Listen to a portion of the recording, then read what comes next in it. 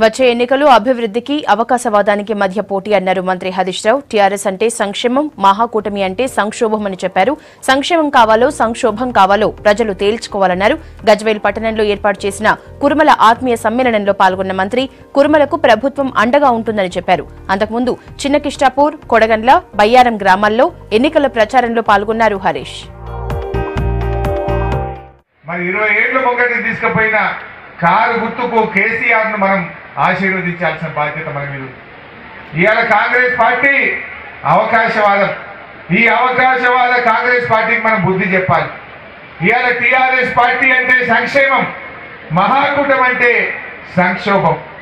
ఇవాళ ఈ నాలుగేళ్ళలో మీరు చూస్తే ఈ రాష్ట్రాన్ని సంక్షేమ రాజ్యంగా సుభిక్ష రాజ్యంగా తీర్చిదిద్దిన ఘనత మన కేసీఆర్ గారు ఇవాళ సంక్షేమం అంటే మీకు తెలుసు మనకు అడగకుండానే గొర్రె పిల్లలు ఇచ్చిండు.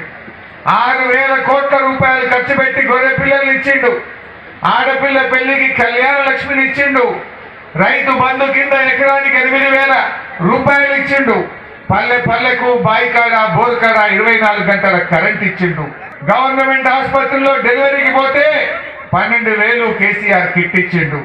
అంతేకాదు ఈరోజు రైతు బీమా ఇచ్చిండు. నాలుగు కిలోల బియ్యాన్ని ఆరు కిలోలకు పెంచిండు. రెండు వందలున్న పెన్షన్ను వెయ్యి రూపాయలకు పెంచిండు.